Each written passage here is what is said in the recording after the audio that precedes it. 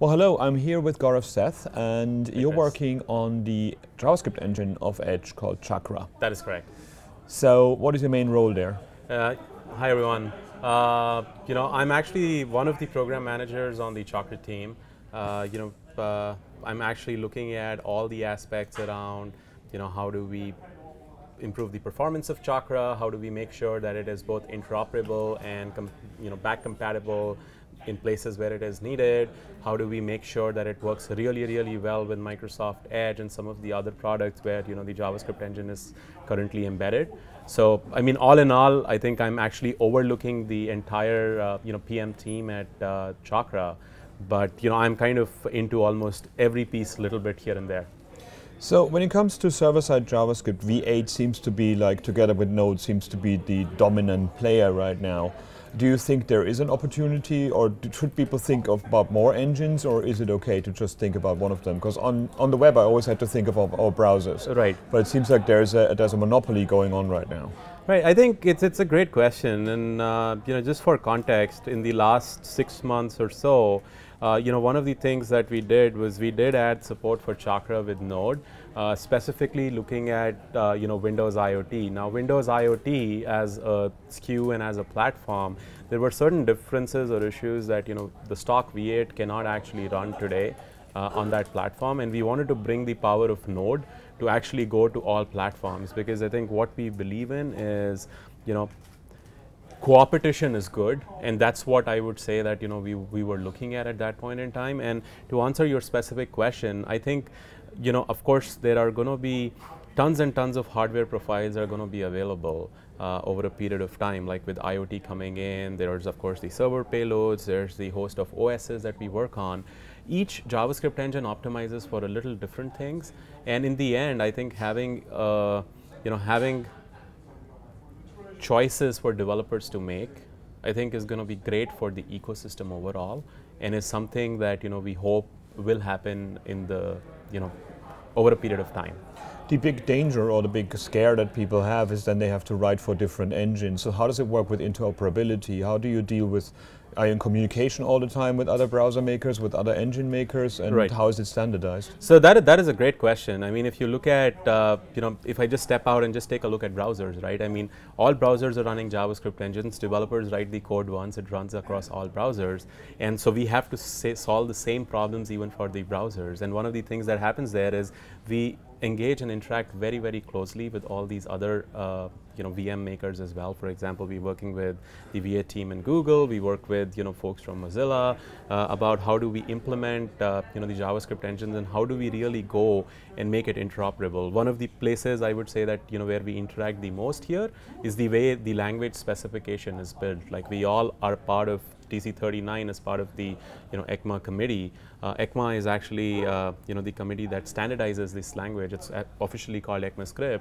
So we all work together. You know we all get into a room, and it's not only these browser vendors that get in, are part of that committee, but it's even like you know top uh, framework authors, top web properties. So people have representations, and we work through all, a mix of all of that you know, when we are thinking about problems, hey, what would be, you know, both backward compatible for the web, plus we can actually bring in some of the new, um, you know, functionalities and, uh, you know, new concepts to the language over a period of time without breaking the web, because web is a pretty complex problem.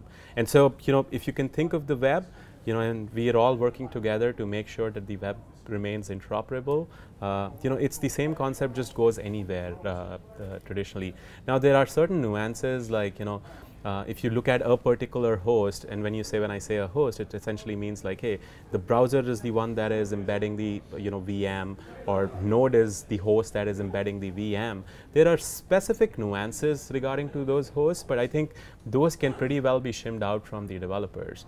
But that said, there are certain things, for example, you know, if you would want 100% compatibility in Node, you know, the, the ideal thing there is to, you know, work together with you know the node foundation with the other vm vendors etc to be able to standardize you know an abi layer for example between node and the javascript vms where uh, you know each VM can play interoperably well so that developers have a great experience using the end-to-end product. I think the goal really is developers sh should be able to use the end-to-end product without worrying about interoperability uh, you know, uh, across one VM or the choice of another VM. How do we break the concept of the conundrum of ES6, as I call it? We have ES6, but people can't use it in the wild, so they use transpilers, or they use things like TypeScript, they use things like mm-hmm. CoffeeScript, mm -hmm. they use other languages to convert into JavaScript. Right. Now, in an environment like an IoT device with like not lots of RAM, this is just not on. This will not happen. So, right. how we, how can we get people to write more bare bones ES6 uh, um, language itself without you, without jumping through hoops to convert it to older ones for older browsers, or is this just a dream that's not possible that easily? Right.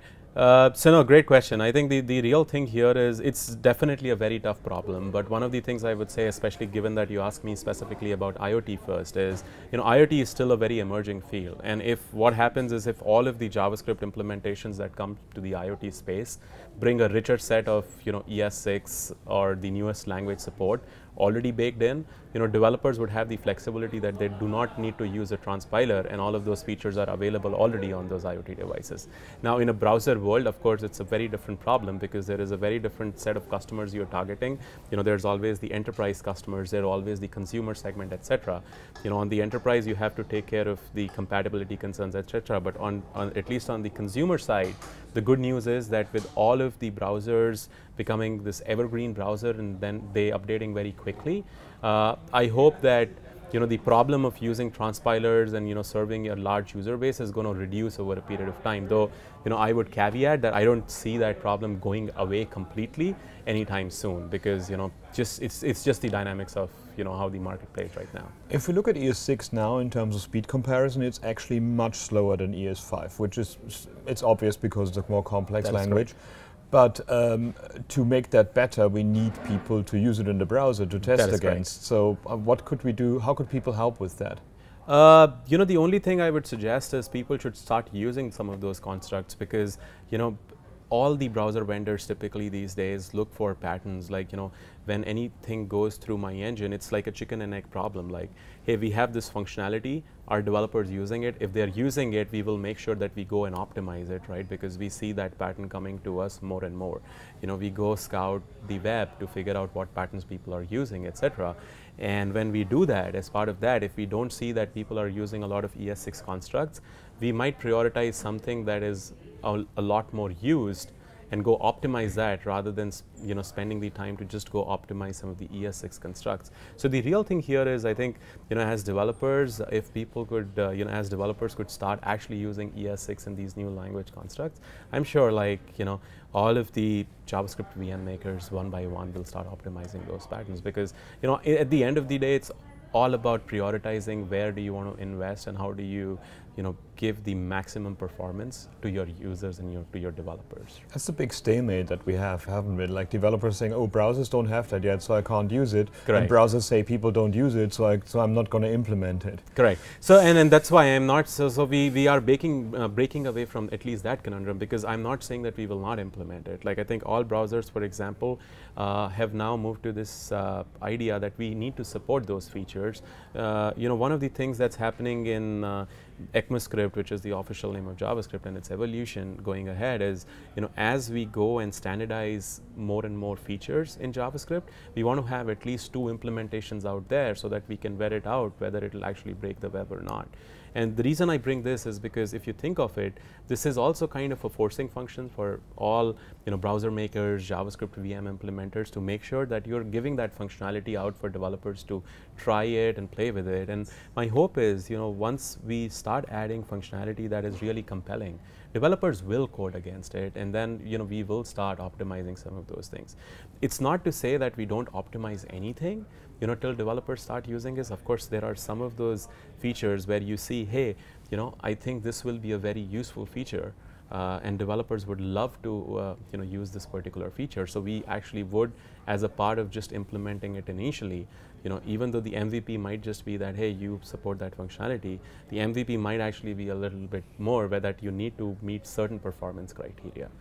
In terms of reaching out to developers, what's the easiest way to reach your team? Do you have an own instance? Are you uh, do you have GitHub repositories? Where can you complain about Chakra and where can you help Chakra? So right now, I think all our instances are tied with uh, you know Microsoft Edge. You can always reach out to my you know at MS Edge Dev uh, on our Twitter account. You can use the Edge user voice. Uh, you know we are think of us as a small sub team in that larger team. And we work uh, you know we are part of the web platform. We all look at it. If there is uh, information that is available to us that gets routed to us. But one of the things that we are going to announce soon is that we are thinking about open sourcing the chakra engine. Uh, what do you think is the uh, what i found interesting when i looked at what you did with chakra is that a few of the uh, the optimizations of the engine were because developers did things wrong. Mm -hmm which were the things that you you found are uh, are incompatible or, or like unoptimized ways of coding that you had to make uh, the engine do for developers to make the work better? And which are the things you would love developers to, to do so you don't have to do that again?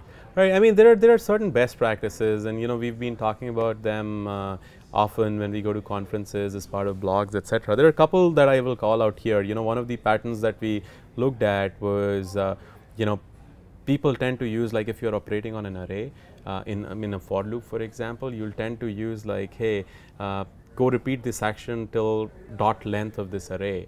Uh, what people don't realize is that you know you are actually accessing that property uh, you know the length property of the array again and again so you're making the engines do work and there are similar patterns that can happen. Now, one of the things that we did uh, in the last release with Chakra was we actually went and optimized it. You know, we kind of uh, the length load uh, operation, we eliminated the cost that the engine has to pay you know in terms of accessing that property we kind of treat it as a constant but that's a great example of like you know as a developer you can think hey am i actually making the engine go do more work you know one other example could be as you know people minify code you know, uh, try to see what is the implication of the minification that you're getting from a performance perspective. Like, you know, always have that. Th there's always a trade-off. There's definitely, you know, you do want to minify code. You don't want to send like unminified code to clients. But you know, try to see what kind of patterns, you know, some of the minifiers are exhibiting out there. Which ones, which one does a good job, which one does not.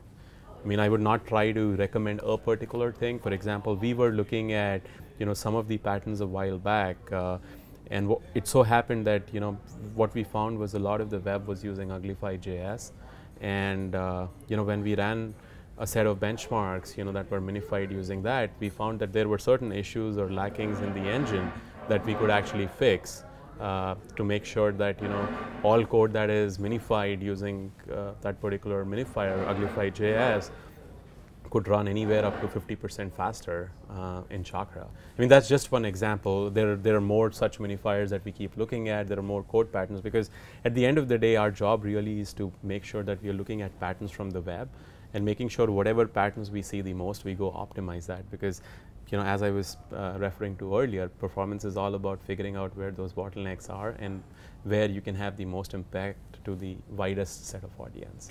Well, we could talk for hours, but we're kind of out of time. One last thing, if you were to look into your orb of the future, how far away are we from multi-threaded JavaScript?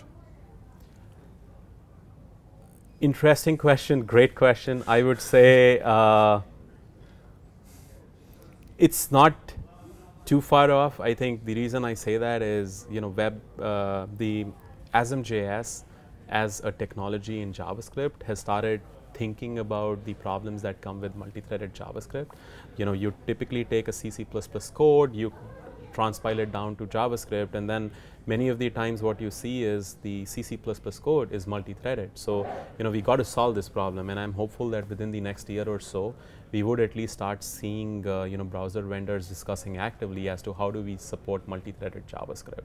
Now, the other thing about multi-threaded JavaScript is, of course, like how engines are taking uh, you know advantage of the underlying hardware it is running in, which already exists today. But I'm actually talking about like you know the act from an execution perspective, like as developers, how you can write code uh, from a multi-threaded perspective. And I would think that you know there are things that are emerging. There's of course WebAssembly that is emerging, which is going to be I think a step ahead of ASM.js.